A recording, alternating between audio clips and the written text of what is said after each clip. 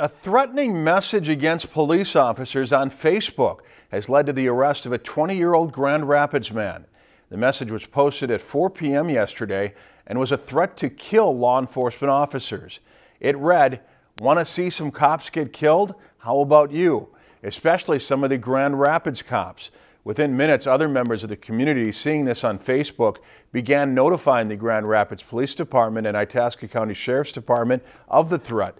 In fact, people as far away as Michigan and Arizona contacted the departments. Thanks to their efforts, within the hour, the man was located at a home in Grand Rapids and taken into custody.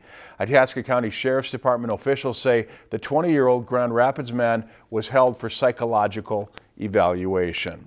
If you've enjoyed this segment of Lakeland News, please consider making a tax-deductible contribution to Lakeland Public Television.